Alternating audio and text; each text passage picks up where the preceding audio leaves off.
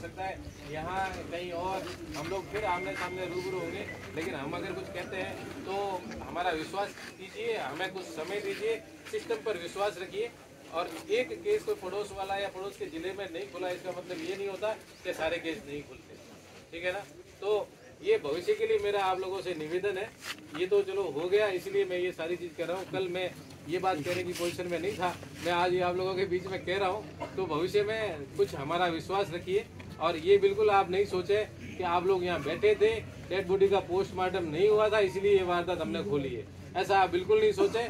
आप नहीं बैठे होते तो भी इसी समय में इसी तरह इसी वारदात का पटाख से होना था। ठीक है ना? मेरा ये आप लोगों से रिक्वेस्ट है।